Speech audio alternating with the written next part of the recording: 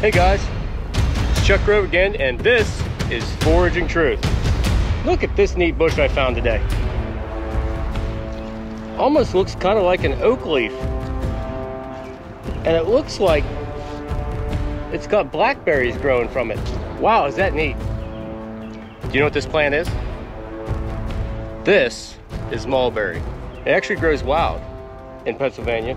And why would we want to know what mulberry is? If you have fatty liver disease, a bad liver, high cholesterol, trouble with blood sugar, or a lot of stress where it becomes oxidative to your body, then mulberry is where you want to be.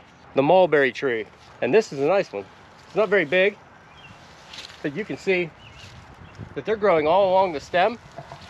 The leaves kind of resemble an oak leaf, and some of the newer sprouts look more like a heart shape with a little lobe back here. And it has white prominent veins with a center stem or center vein down the middle.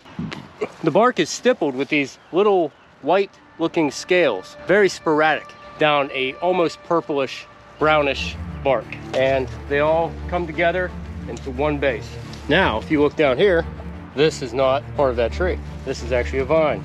Do you know what that is? Did you watch the video? You should be able to tell me what berry this is by the leaf, by the stem. Leave your comments below. So, the mulberry tree. Make sure you like, share, and subscribe. And always keep foraging.